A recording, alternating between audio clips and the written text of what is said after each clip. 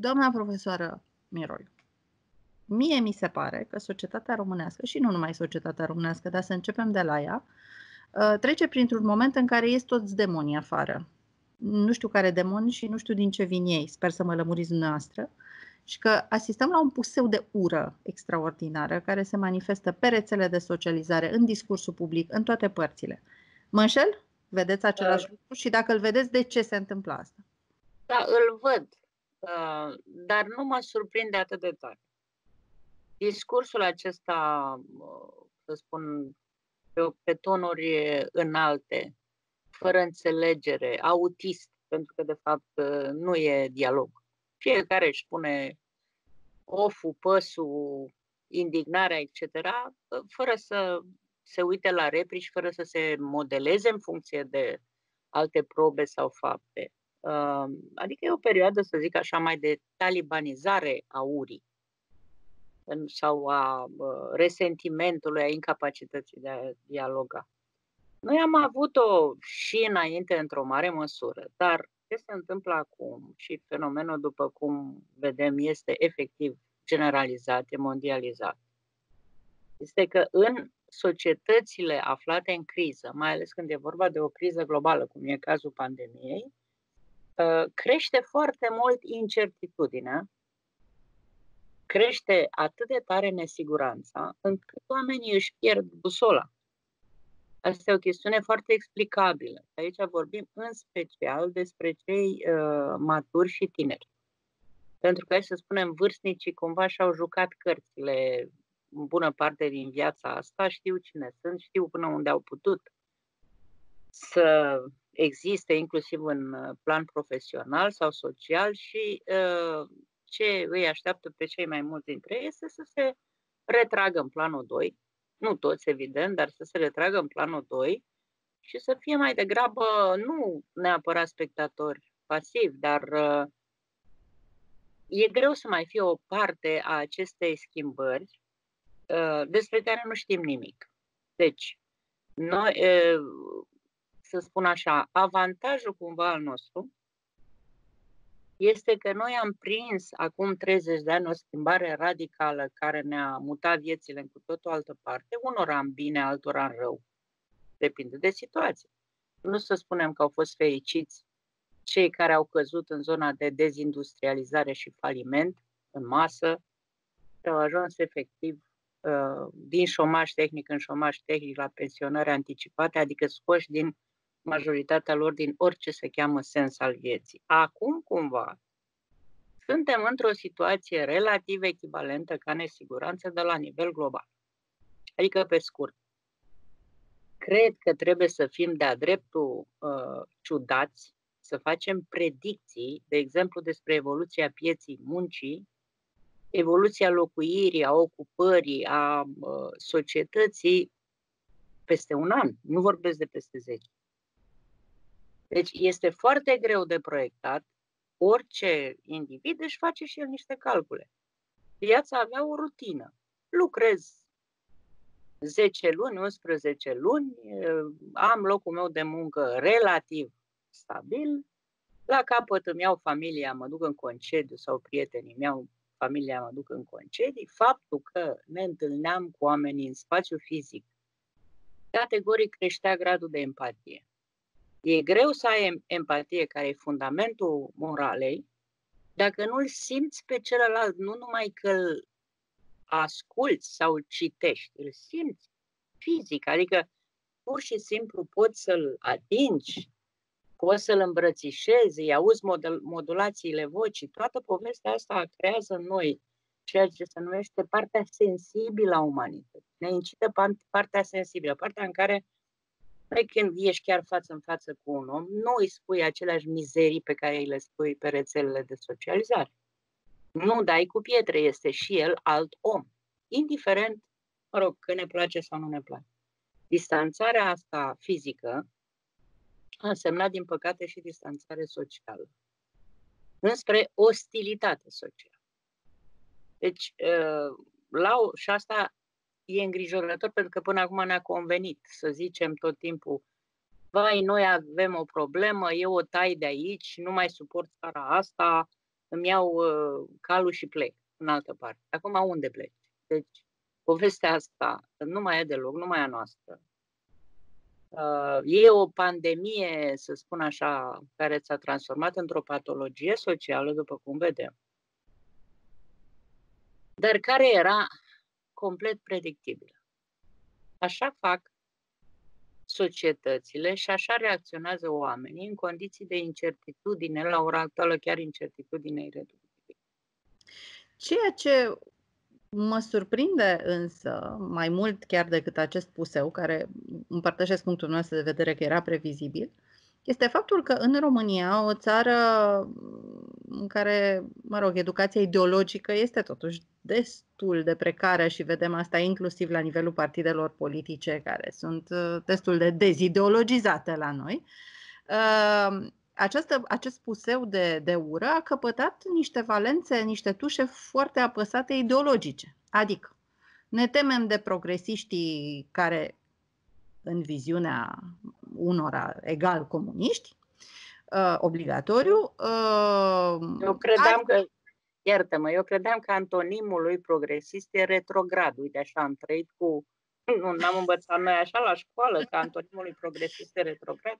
Așa că Fac apel uh, la faptul că dumneavoastră sunteți uh, profesoară de uh, ideologii politice contemporane, asta predați la SNSPA, conduceți doctorate de științe politice și am să vă întreb cum vă explicați acest faptul că românul s-a trezit foarte ideologizat deodată, înțelege perfect cum e cu progresismul, de unde vine comunismul, totul este marxist, statuile sunt devalizate, sunt distruse pentru că vin comuniștii peste noi, marxiștii.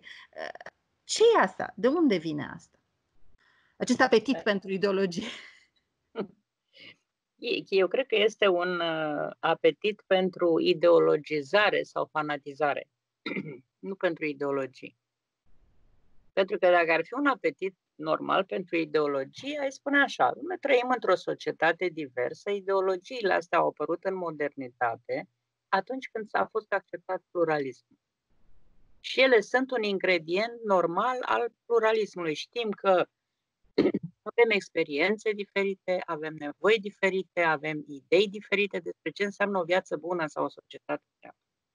Și asta ne face să ne împărțim în conservatori, în creștini democrați, în liberali, în ecologiști, în feminiști, care, mă rog, feministi intră puțin în ingrediente mai multe, în uh, uh socialiști, în libertarieni. Deci există o paletă largă de ideologii considerate ca parte a pluralismului democratic și care nu fac rău nimănui, sunt firești, sunt ingrediente absolut normale într-o societate pluralistă. La capătul lor de dreapta sau fascismul și fundamentalismul religios și la capătul de stânga stă comunismul, adică extremele. Da?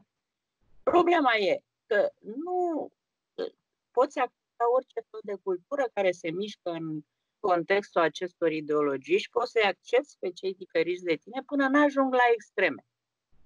Deci la cele două extreme, extrema stângă sau extrema dreaptă.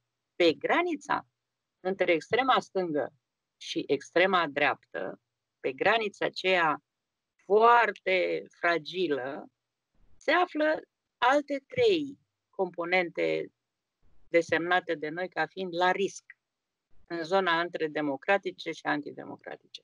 Este vorba despre anarhism, populism și multiculturalismul colectivist.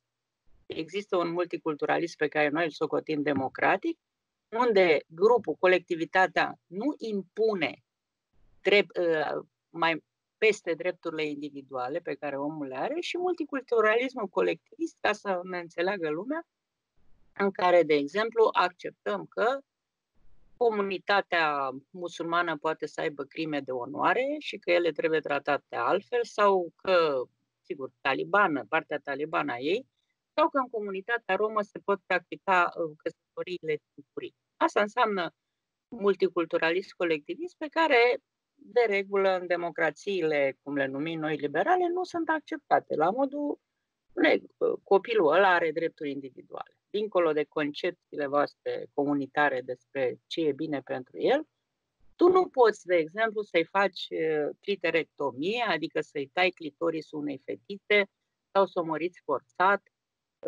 sau, nu știu, să omori pe cineva pentru că s-a îndrăgostit de fica ta, respectiv crime de onoare. Să le socotim inacceptabile. Deci, populismul, anarhismul și multiculturalismul colectivist sunt cele care sunt în zona de risc. Acum, o secundă ca să facem o imagine aproape grafică. Deci, dumneavoastră nu descrieți spectrul politic ca pe o linie, ci cumva no. ca pe un cerc în care extremele ajung să se întâlnească separate de cele trei elemente pe care le-ați descris mai înainte. Deci, avem trei bucăți, ca să fim foarte limpezi. Bucata democrată, în care toată lumea încape de toată lumea, chiar dacă are idei diferite pot coexista și o societate normală pluralistă. Am zis, de la uh, partea dreaptă a acestei uh, chestiuni care se cheamă conservatorismul de dreapta, că există și un conservatorism de stânga, de exemplu. Uh, țările este europene au experimentat conservatorismul de stânga. Deci conservatorismul, social-democrația, libertarianismul, liberalismul sunt ingrediente, liberalismul merge către da? După care avem socialismul care merge către centru-stânga, avem uh, în ingredientul ăsta ecologia, sigur, fără că și ecologia poate să aibă manifestări anarhiste sau radicale, dar să spunem, corpul principal uh, stă bine mersi. Avem feminismul pe care îl găsim și la liberalism și la socialism. Toate astea trăiesc bine mersi într-o democrație care acceptă regula că schimbările se fac prin mijloace politice, prin vot nu prin răzmerițe, nu prin distrugeri, nu prin război civil sau răscoale de toate felurile. Deci asta zic, ok, data viitoare câștigăm mai multe locuri și uh, promovăm un anumit tip de legi. Și stau uh, liniștit să se desfășoare, ca să spun așa, sigur făcând unor proteste, dacă e cazul, lobby, etc. Dar, Dar rămân, democratică. Rămân în jocul acesta pașnic de schimbare democratică. Uh, bucățica care merge de la aceste, uh, acest culoar democratic către culoarul extremist e alcătuită, cum am zis, din multiculturalismul colectivist. Ăla nu s-a... Deci ăla chiar n-a făcut ravagii decât mai degrabă la, asupra indivizilor. Anarhismul și populismul. Deci aici ne aflăm. Acum, noi trebuie să ne gândim la un lucru. Uh, democrațiile au degenerat, chiar marile democrații, către populism în ultimii ani într-un mod foarte îngrijorător. Uh, fenomenul Trump și fenomenul Brexit sunt rezultatul populismului, fără discuție. Deci de erai deja într-o fază de populism foarte avansată, adică pe scurt ieșai din granița democrațiilor liberale. Acum că la acest fel de populism se răspunde și cu anarhism, din punct de vedere științific, nu te miri. E ceea ce vedeți.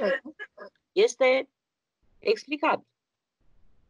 Și că teama foarte mare este că uh, grupurile populiste de stânga, care acum se manifestă anarhist, vor intra în extremă stângă și că, uh, contrar lor, nu vor fi democrații sau conservatorii sau, mă rog, ci uh, contrar lor vor fi uh, neofasciști.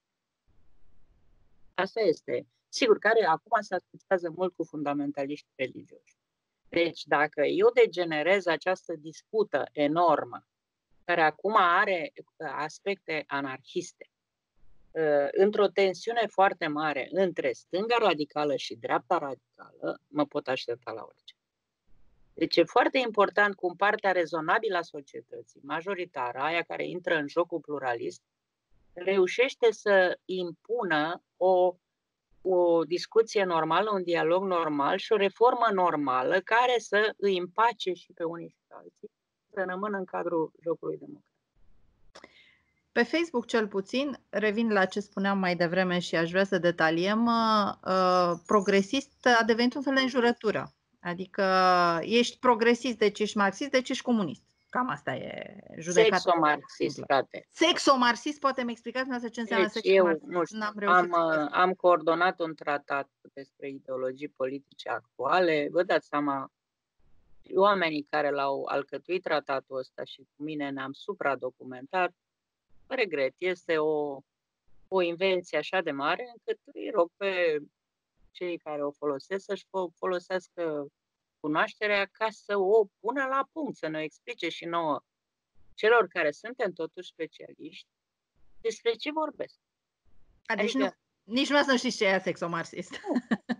Nu, nu adică este mai precis o înjurătură. Ea funcționează ca o înjurătură. O etichetă infamantă pusă pe tot ceea ce nu place ție și vine dintr-o direcție cu care nu vrei, nu te împaci sau ceva de genul ăsta. Adică combină frica de comunism prin termenul marxist și combină frica de, uh, de homofobia, să zicem, sau uh, uh, acum mai nou, măi frate, că e plină, e o bulzeală de transexuali în România de nu se poate. Și am văzut, ne asaltează geamurile. Da? Uh, deci, combină, pun, pun accentul pe marxism, adică comunism, și accentul pe sex, în sensul că uh, o luăm razna și heterosexualitatea va deveni o amintire istorică. De genul. Deci, uh, cum să zic, mie mi-e foarte greu, în calitate de om care studiază, cercetează, scrie despre asta, predă, este extrem de greu să înțeleg și mie în același timp foarte greu să iau în serios niște oameni uh, care nu sunt absolut deloc specialiști, care n-au niciun fel de studii uh, sistematice pe tema asta și să iau în serios. Noi ne-am obișnuit că în comunitatea de uh, specialiști te iei în serios cu oameni cu care ai o cunoaștere uh, de bază comună în domeniul respectiv. Și măcar o terminologie comună. Nu? Da, sunt concepte pe care le folosesc într-un sens Uh, complet inteligibil. Deci astea sunt uh, etichete inflamate și inflamante în care uh, persoanele care se află, deci astea sunt etichetele folosite de cei cu tendințe radicale de dreapta. Bun, haideți să definim Împotriva totuși celor de stânga, dar aici greșesc enorm. Ei bagă în aceeași oală tot ce înseamnă o stângă democratică cu o stângă extremă. Uh, pe scurt, nu acceptă jocul pluralist. Noi avem problema asta, schizofrenia asta. La noi cu ori ești de stânga și atunci ești comunist și ori ești de dreapta și atunci ești, nu știu, pe liberal sau altceva, uh, a fost permanentă. Noi n-am înțeles niciodată jocul uh, ideologic democratic. Bun, haideți să definim totuși termenul de progresist în mod corect, ca măcar cei care citesc și ascultă ce vorbim noi să înțeleagă ce e acela, de fapt, un progresist. Uh, acum, în genere, lângă termenul progresist, noi putem să punem alți doi termeni. Retrograd. Deci cei care se împotrivesc schimbărilor sociale, se, se împotrivesc dramatic, nu le vor. De exemplu, burghezia numea uh, nobilimea retrograd. Uh, pentru că îi ținea, voia să-i țină prizonieri într-un tip de societate care nu mai mergea, nu mai coincidea cu mersul istoriei și cei care vor să țină pe loc în timpul și în sistemul lor de referință se numesc de obicei retrograzi. Acum, uh, există și o bucată care uh, e conservatoare, care nu e în situația de a fi retrogradă și care spune următorul lucru. Domnule, dar acceptăm că lumea se schimbă. Dar aceste schimbări trebuie să vină natural, lent, în ritmul lucrurilor, încât ele să poată fi procesate de societate și nu facem schimbări radicale prin ucaz sau prin legislație. Mergem treptat într-o anumită evoluție, înceată, organică, etc. Lucrul ăsta a fost valabil și când a fost vorba de ieșirea din comunism.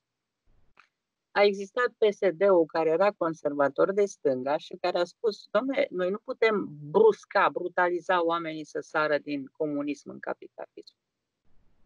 Trebuie să o luăm așa mai încet, pentru că dislocarea este majoră. Și ei nu vor accepta chestiunea asta, lucru care, între altele, a fost chiar adevărat. Om fi fost noi ăilalți în masă, cum era și cazul meu, total anti-PSD de-a lungul istoriei, dar uh, sociologic vorbind, trebuie să recunoști că ei erau mult mai realiști decât eram noi. se raportau la o societate sau, mă rog, la o bună parte a societății care nu avea cum procesa schimbările astea rapid. Ceea ce nu înseamnă că ei au mers spre un progres lent, adică asta a fost doar acoperirea, că n-au mers Ok, dar asta au promis, schimbarea în liniște. În da? liniște. Da? Lozinca schimbarea în liniște înseamnă, de fapt, un conservatorism care merge pe ideea creșterii organice, de exemplu, în cazul ăla, a capitalismului din comunism și a democrației din autoritarism. Acum, când mergem din cu acela progresiv, de regulă progresiștii, acum cum văd că există tendința mai rezonabilă de a lua lucrurile, așa, ă, progresiștii n-au răbdare să se schimbe lucrurile într-un ritm organic, să crească evolutiv. Ă, vor dreptate acum, vor ă, un tip de legislație acum, vor schimbarea lumii acum. Să spunem că asta este o mare nerăbdare. De exemplu, când pașopiștii români, care erau progresiști, au venit cu idei uh, de dezvoltare a uh, Moldovei sau a Munteniei, a Transilvaniei ca parte a Imperiului Austro-Ungar, au venit cu idei uh, să facă o societate, o rânduire și un stat de factură burgheză capitalistă într-o țară care era quasi feudală, neindustrializată, nu îndeplinea condiții deloc ca să treacă în uh, secolul XIX, dintr-o parte într-alta, ei erau progresiști pentru că ziceau dacă noi schimbăm brusc toate instituțiile, legile, funcționarea statului, societatea se va lua după noi și se va schimba la rândul ei. Asta înseamnă progresist în sensul, să spunem, încetățenit al termenului. Cei care vor să ardă etape istorice, n-au răbdare să meargă încet și vor acum. Nu, vreau să se termine cu hidrocarburi sau cu combustibilii fosili acum.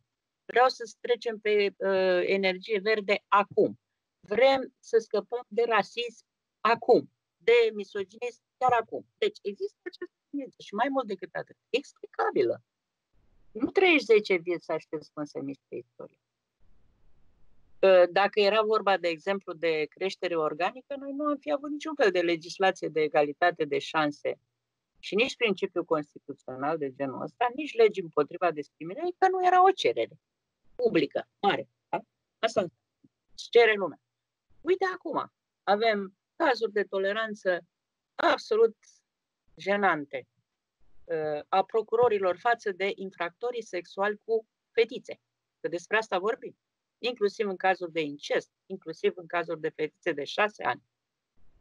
Uh, deși ai toată legislația care să te ajute să depășești chestiunea asta, pentru că ei sunt retardați în concepția lor despre, de exemplu, consimțământ. Nu? Deci, nu, nici acum nu au procesat că într-o astfel de societate consimțământul e o valoare fundamentală. Și merg pe paternurile lor absolut caragioase. Păi sigur că victimele sau potențialele victimele, dar nu au răbdare cu schimbarea mentalității procurorilor. Vor dreptate pentru copiii acum. Nu e, deci nu e nimic uh, să deci zicem... o formă de progresism până la urmă. Deci, forma de progresism reprezintă dorința de a schimba, dacă se poate azi, uite, începând cu ora 1, schimbăm lumea. Schimbările astea mari sperie îngrozitor. Pe majoritatea oamenilor îi sperie. Pentru că n-au timp și un fel de... ajungi direct la concluzii. Cei care merg cu astfel de, uh, în astfel de direcție au procesat înainte tot soiul de idei, dar lozincile lor de schimbare sunt concluzii ale acestor idei. Și vii tu cu concluziile fără să refaci raționamentul pentru toată lumea, că nu înțelegi ce naiba vrei. Și se pare într-un fel așa și arată când se manifestă anarhism, mai degrabă sete de distrugere decât de construcție. Progresismul este neapărat de stânga? Nu. Nu. Deci noi putem să spunem că partidul care a fost uh, progresist era de stânga sau ce? Progresismul este pur și simplu o dorință de schimbare, e o, e o metodă de a gândi felul în care trebuie să aibă loc o schimbare în societate. Progresiștii spun că trebuie să aibă loc prin schimbarea instituțiilor, respectiv legilor și instituțiilor, ieri dimineață. Adică, sau mă rog, azi. Ceilalți mai conservatori zic, mai ușurel, așteptați, să nu tot lumea gândește așa, cei mai mulți chiar sunt foarte contrariați, ă, dacă e democrație, și asta este un obie- o obiecție importantă, nu puteți voi merge contra curentului principal, respectând regulile democrației. Lumea se mișcă mai lent, lăsați-o să se miște într-un ritm uh, convenabil ei. Deci, lucrul ăsta de înțeles. Fenomenul LGBT era până acum asociat susținerea drepturilor uh, persoanelor LGBT era asociată cu stânga. Mm, foarte multă vreme. Mai este valabil lucrul acesta? Poți să fii de dreapta, dar să consideri că persoanele LGBT trebuie să aibă drepturi recunoscute?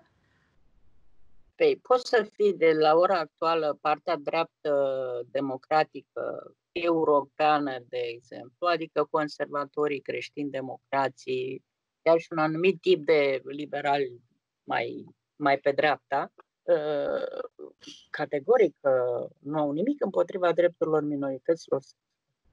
Deci pentru ei asta a devenit o problemă pe care au acceptat-o, le-a fost greu și lor. Dar au acceptat-o în timp, au acceptat că au acceptat o chestie foarte simplă. Dacă mie omul ăla nu mi-a nimic, nu mi-a niciun drept, ce pot să am eu împotrivă să aibă el un drept pe care eu l-am? Da? Asta e logica simplă, e așa. Atâta vreme cât pe mine nu mă privează de niciun drept, îl las în pace să citește și el aceleași drepturi civile pe care le am eu. Asta este înțelepciunea democrațiilor liberale. Să spună mai, dreptul tău și libertatea ta are o singură limită. Dreptul și libertatea mea. Dacă nu mi le-ai luat, du-te înainte cu drepturile tale. Deci, la ora actuală nu avem niciun conservator sau creștin democrat respectabil în zona Uniunii Europene care să fie împotriva drepturilor minorităților sexuale. Avem însă extremiștii de dreapta care sunt împotriva și fundamentaliștii religioși. Deci aici avem o, o nu trebuie să avem nicio confuzie între dreapta democratică și dreapta antidemocratică. Mulți reproșează însă un oarecare exces din zona LGBT. De exemplu, a fost recent în România chiar un scandal cu niște panouri puse pe sectorul 6, mi se pare, cu persoane vârstnice, pensionari, uh, care spuneau uh, I'm gay sau mesaje Hai. de acest. Uh, sunt, există aceste excese care pot să facă rău până la urmă, să creeze o reacție adversă? Acum, uh, dacă mă întreb pe mine ca persoană, pe persoană fizică și nu pe persoană profesională, o să zic că da, și pe mine mă șochează, dar asta pe, pers- pe persoană individuală. Fizică. Uh, dar Privat. persoana care se cheamă teoreticiana etc., etc., nu e contrariată de așa ceva. E, de fapt, de exemplu, foarte multe panouri publicitare. Uh, sunt cu cupluri heterosexuale, un bărbat, o femeie, un domn vârstnic, o doamnă vârstnică care își fac cumpărături prin IMAG pentru că au învățat să folosească contul sau nu, orice, nu contează. Niște tineri vor să-și întemeieze un cămin. Și vedem tot timpul cupluri heterosexuale. Ă, e o tâmpenie să ne legăm de faptul că sunt folosite în publicitate sunt folosite cuplurile heterosexuale. Nu ne legăm de asta. Pe de altă parte, în momentul în care definim normalitatea de cuplu strict ca heterosexuală, rămâne într-o bizar- bizarerie totală cealaltă orientă. Adică ea continuă să pară cel puțin ciudată, iar unora chiar periculoasă. Eu îi înțeleg pe ei că au zis, măi, nu știu ce uh, imagine au oamenii ăștia despre uh, homosexualitate și cine este homosexual. Da, uite, eu sunt o doamnă de 60 de ani, de 70 de ani, care asta sunt. Sunt lesbiană, nu o să zic. Și uh, nu fac rău nimănui. Deci pot să îi înțeleg că din când în când trebuie să... Sunt foarte supărați că imaginea lor nu e acceptată ca imagine publică. Asta trebuie să înțeleg. E supărător să nu găsești nici măcar atâta nișă în care să vezi un cuplu care nu este uh, heterosexual în tot ce se cheamă, de exemplu, publicitate. Și au vrut să contracareze asta. Eu pot să înțeleg, chiar deci uh, bizareria uh, ca reacție vine din faptul că e neobișnuit. Așa cum au fost tot felul de reacții adverse la niște întâmplări care au părut excese, gen retragerea temporară, că asta a fost, retragere temporară a filmului pe aripile vântului pentru că ar promova sclavia sau un exemplu foarte recent, înțeleg că o companie de produse cosmetice elimină termenul whitening din, uh, din publicitate uh, publicitatea produselor sale. Nu sunt acestea niște excese care tocmai că alimentează curentele împotriva progresului pe care îl cer cei vizați de rasism, sexism, uh, intoleranță de orice tip? Bă, hotărât că reacția va fi dură și este dură a celorlalți. Deci eu pot să înțeleg motivele, dar în același timp este, există o, o poveste legată de rezonabilitate. Până unde poți să interzici? Hai să ne imaginăm ceva împreună. Că s-ar interzice literatura misogină. Hai da. Ar mai rămâne ceva literatură? Ar mai rămâne câte ceva. Serios. Deci, ar mai rămâne. Uh, faptul de a judeca cu valorile și sistemul nostru de referință de azi, lumi, uh, cărora noi nu le-am fost direct parte. De exemplu, când am, am dat uh, lumea jos statuia lui Lenin la căderea comunismului sau a lui Stalin când a căzut Stalin sau alte. Păi, atunci se trecea revoluția în timpul ăla. Da? Adică, scurt, erai eviva la Revoluțion și acționai direct cu o indignare absolut legitimă pentru că tu fusese robul unei societăți supraautoritare și a unei dictaturi. Uh, și aici ai legitimitate ca unul aflat în suferință direct. Să te înfuri și să dărâmi statut. E greu de răspuns la întrebarea câtă legitimitate directă am ca după 100 și nu știu câți de ani, mă rog, după 4-5 generații, 6 generații, uh, de membri ai familiei mele uh, în care n-au mai fost într-o situație de sclavie, să am legitimitate să fac chestia asta pentru că ei au suferit, au suferit frunt. Pot să am legitimitate să cer ca din manualele de istorie să fie scrisă foarte corect istoria sclavilor am legitimitate să menționez și partea asta cu sclavia în legătură cu marile personaje istorice ale uh, Americii, de exemplu, și să spun că au deținut sclavi sau lui Washington și a pus dinți din dinții sclavilor. De Ok, da. Deci am legitimitate să spun nu numai bucata de adevăr convenabilă până acum, ci și cealaltă. Treaba e că nu am cum să schimb istoria că până și cei care erau sclavagiși la ora aia, mă rog, practicau sistemul, au avut și contribuții foarte progresiste la știință, la uh, politică, la dezvoltarea democratică, la independență, au diverse. O parte a, a, a poveștilor de viață este întunecată în sistemul nostru de referință. Această poveste trebuie spusă. Dar nu putem dărâma o istorie. Ea așa a mers. Nu, oamenii nu au uh, sărit direct în comuna primit, din comuna primitivă la uh, umanismul democratic. Ce să-i faci? A mers încet în istorie. Bun, până la urmă, în cazul peripile vântului, de exemplu, se cerea doar un disclaimer care să spună da. aveți grijă că este destul de idealizat ce se prezintă acolo. Un disclaimer pe care eu l-am practicat, de exemplu, cu fica mea când i-am dat să citească prima și am spus ai grijă, cartea e superbă, e o poveste de dragoste da. minunată, dar ai grijă, nu era așa de mare dragostea între sclavi și uh, stăpâni cum uh, ți-o va prezenta cartea asta da. și nici cu Federația da. Eroică. Este și coliba unchiului Tom să vezi că nu toate sunt uh, exact. Brăstiere. Exact, lucrurile...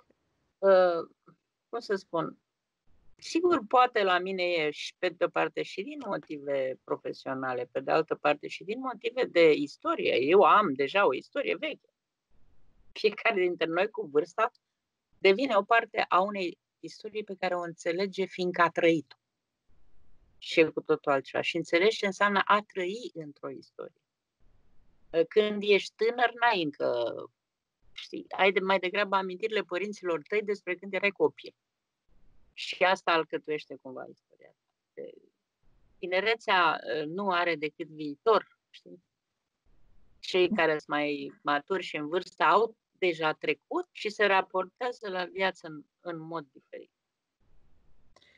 Ă, sunt mulți cei care acuză acest puseu de violență izbucnit în Statele Unite ca pe o manevră anti-Trump. Sunt alții care spun că, de fapt, uh, puseul acesta de violență este o consecință a ceea ce face Trump de, din campania electorală încă, dacă nu chiar uh, dinainte. Unde e adevărul? Păi eu nu cred că putem judeca adevărul ca unde este, pentru că uh, în politică e greu să operezi cu noțiunea de adevăr. Mai degrabă folosești termenul de dreptate și te întreb cine are dreptate. Nu cine da. are. Nu. De cine are dreptate. Uh, e foarte drept că Trump e rezultatul unui, unei creștere enorme a populismului în Statele Unite ale Americii. Asta e foarte drept. E foarte drept că uh, consecințele pe care le-a avut alegerea unui uh, reality show President of the United States care, care nu are, uh, cum să spun, simț instituțional și umilința funcției, care vrea ca uh, funcția lui să se plieze după personalitatea lui și nu invers. Uh, a creat o problemă enormă și a scos din minți o grămadă de oameni. Pe de altă parte, reacția asta foarte dură, care este, sigur, cumva nu e, e, e în, prelungirea unui, în prelungirea unui populism aluneci în anarhism. Ce să-i faci? Ar fi fost de preferat să te duci înapoi spre democrație liberală. Dar tu te duci spre anarhie. Să ne gândim că e combinație între criza uh, legată de pandemie, criza legată de o dezordine uh, instituțională severă provocată de stilul lui Trump și toate chestiile astea generează într-un mod explicabil anarhie. Uh, acum că uh, asta îi va înrăutăți poziția lui Trump sau îi va folosi, nu știu. Nu știu. Uh, știm că în acum patru ani înainte de alegeri, existau cercetări care demonstrau că motivele principale ale majorității oamenilor care l-au votat pe Trump, care depășeau cu câteva procente, în sensul că apăreau primele pe listă, erau culturale, nu economice. Adică, pur și simplu, o ostilitate enormă față de, uh, să zicem ce numeau ei, progresiști și pe care îi asimilau în special cu coasta de est și coasta de vest a Statelor Unite, iar cei adunați în centru nu înțelegeau ce vor new ce vor cei din Los Angeles, ce vrea coasta aia care era, să spunem, în efervescența dezvoltării intelectuale și schimbărilor și așa mai departe. Nu îi mai înțelegeau. Deci a existat o ruptură foarte mare și există între o categorie de oameni care o iau pe repede înainte pentru că își dezvoltă concepția despre lume și viață foarte rapid și cealaltă lume rămasă în urmă că nu le explică nimeni nimic. Nimeni nimic. Deci ei nu înțeleg ce vor cei care vor schimbări de climă. Ei, acea lume e acolo. Acea lume e acolo. N-a luat-o nimeni din America. Pe de altă parte, frica de, de schimbări, deci frica de schimbare rămâne acolo. Așa că nu știu. E foarte hazardat să spunem cum va reacționa de fapt lumea condițiile astea. Plus că contracandidatul, da, contracandidatul. E și chestia asta care te pur și simplu te, te topește, nu ți-o poți explica. Cum e posibil ca o țară care este vârf de lance în toate categoriile de dezvoltări de secol 21, care are uh, hotărât cele mai bune departamente de științe politice, drepte, etc., pe N criterii. Lume, nu e în stare să-și formeze o clasă politică și să aibă candidați la președinție, măcar normal sau cu bun simț. Deci, uh, cu cunoștințe solide temeni sau îi resping, dacă iau. Deci, avem o mare problemă. Da. Problemă de leadership, dar cred că ea este și europeană. Nu, nu cred că este doar o este, problemă americană. Este. Este. Uh, dar uite-te că noi am avut mai mult bun De exemplu. Am avut mai mult?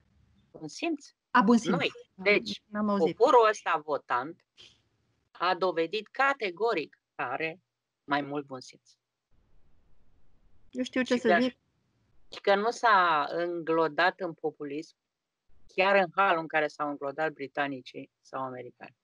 Nu chiar în halul, dar votul din 2016 a fost un vot în bună măsură dat populismului, pentru că acel Cartea Sfântă a programului de guvernare a fost un populism. Cred că ți amintești, crezi că ți amintești că a fost un absenteism de 64%. Foarte da? adevărat. Acest absenteism se explică prin calitatea oamenilor care au fost puși pe liste la alte partide. Ok? Și oamenii nu s-au dus la vot. Deci absenteismul, îmi spuneți, a fost o reacție de bun simț până la urmă, în felul său. Reacția oamenilor care nu puteau accepta au de ales între prostul de stânga și prostul de dreapta, între prostul de stânga și ticălosul de dreapta, între șmecherul de stânga și șmecherul de dreapta. Spune, nu votez între șmecheri sau uh, ticăloși. Nu votez. Mai bine nu votez. Deci asta a fost reacția. Și după patru ani, credeți că stăm un pic mai bine în perspectiva alegerilor? Da, mai avem, uh, avem la ușă. nișa mai conturată cu partea cealaltă, cu USR Plus. Deci o ofertă mai mare, cu mai multe o prestație mai bună a liberalilor categoric, o stare mai bună decât era cea din 2016, deci lucrurile arată mult mai bine la liberal decât au arătat. Sper că și listele vor arăta uh, cât de cât respectabil, pentru că au fost niște liste deplorabile. Și sper că și PSD-ul mai umblă la oameni și la, la calitatea oamenilor. Pentru că chiar dacă sunt aleși, uite, de exemplu, eu știu un primar uh, PSD uh, pe care eu l-aș vota fără, fără să tresar. Știu, de fapt, doi pe care aș vota fără să tresar. Pentru că nu au intrat în siajul populismului și prostiei și șmecheriei, ci și-au văzut de treabă în mod extrem de benefic pentru uh, locurile unde au fost primit.